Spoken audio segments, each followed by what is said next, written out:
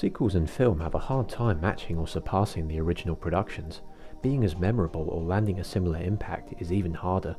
In 1996, Danny Boyle's Trainspotting found smashing success in the UK and pop culture at large.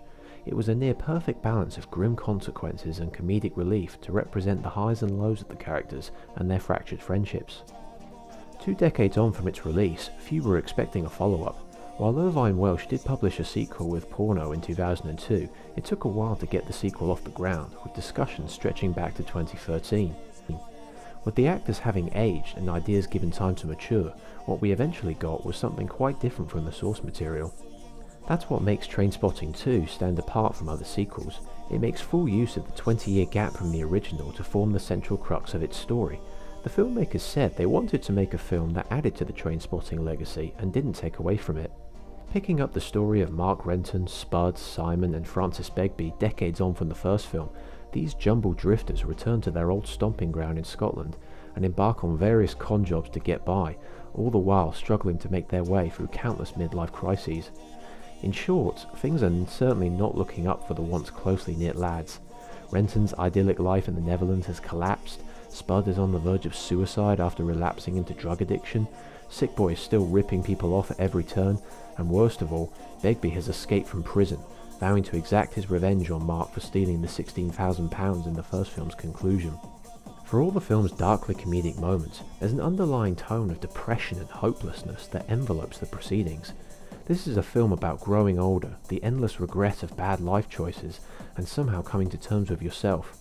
For those who watched the original film 20 years prior, this resonated massively.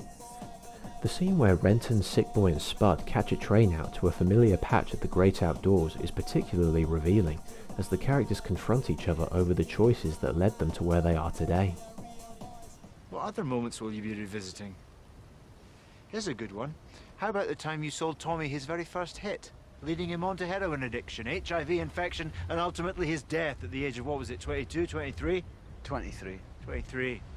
How innocent was that? Aye, that's mine. How's yours? Don't know what you're talking about. She'd be a woman by now. Maybe kids of her own. But she never got that far, did she? Never got to lead her life.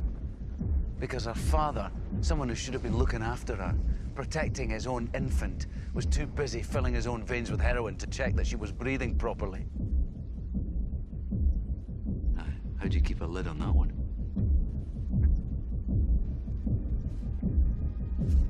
From here, Trainspotting 2 puts a new spin on older events without coming off as a total rehash, mirroring many of the first film's events. The way history repeats itself speaks to the cycle of frustration and depravity the characters find themselves in. Take Choose life for example. In the original film it was used to open and close the narrative with a rush of energy, getting across the ups and downs of the heroin-fueled drug binge. But when Renton relays the iconic speech to Veronica in T2, the tone is dramatically different. Unfulfilled promise, and wishing you'd done it all differently. Choose never learning from your own mistakes. Choose watching history repeat itself. Choose the slow reconciliation towards what you can get, rather than what you always hoped for. Settle for less and keep a brave face on it. Choose disappointment. And choose losing the ones you loved, and as they fall from view, a piece of you dies with them. Until you can see that one day in the future, piece by piece, they will all be gone, and there'll be nothing left of you to call alive or dead. Choose your future, Veronica. Choose life. We see a man drained of his youthful energy, his voice breaking as he laments times long past and his disdain for the modern world. Ironically, the more things change, the more they stay the same, and the 2017 film mixes these elements into the narrative without losing sight of its thematic undertones. In addition to these moments, the film continues the same electrifying cinematography and dynamic music that made the first film so memorable, especially in the frantic No More Catholic sequence. These aesthetic elements ensure that T2's identity remains grounded and closely intertwined. The soundtrack, featuring several songs from the original film, are often altered or remixed to serve the modern setting, beginning with the opening which uses the same beat as Iggy Pop's Lust for Life, but with a techno spin put on it by the Prodigy to match the modern gym setting. Later, the song Dreaming by Blondie charts the various escapades of the characters in a montage,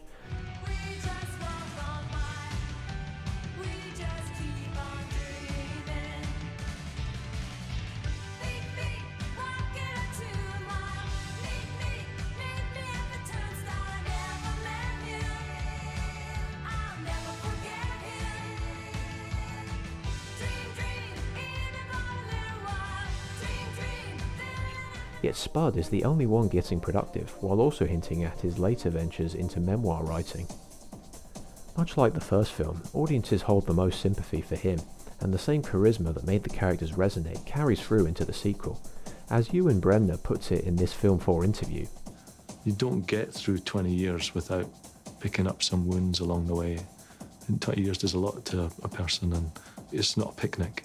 You know, there's there's great stuff that we've you know that brings you joy, but there's there's also things that you struggle with to, to overcome. And As the film reaches its final act, we can hear the Underworld song Slow Slippy, but it's very faint, placed in the background and barely audible.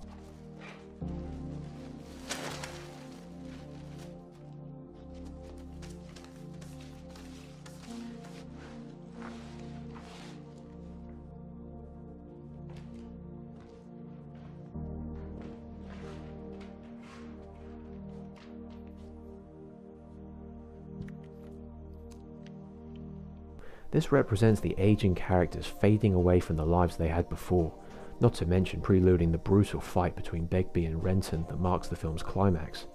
Much like Danny Boyle's other films, music is used to enhance the tone, and here it's fully in tune with the characters' often bleak outlooks. Yet, there is a light at the end of the tunnel, and as Renton finally reconciles with his dad to close the film, the original Iggy Pop classic comes streaming back in. Much like he did in the original flick, Renton has chosen life. While Trainspotting 2 might not be as energised or entertaining as its predecessor, it stands out as a rare sequel that uses the real-world passage of time to fuel its themes and narrative, resulting in a worthy follow-up to one of the best UK films ever made. Thanks for watching. T2 was a pleasant surprise for me in many ways when I saw it two years ago, but what did you guys think of the long-awaited sequel? Let me know in the comments below. You can follow my blog and channel at the links in the description.